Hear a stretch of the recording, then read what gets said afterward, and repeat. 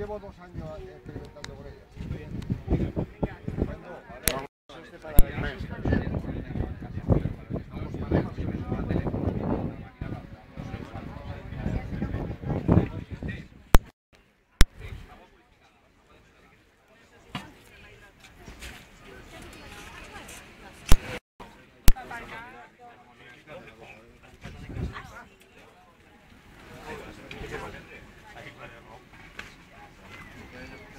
Vale, vale,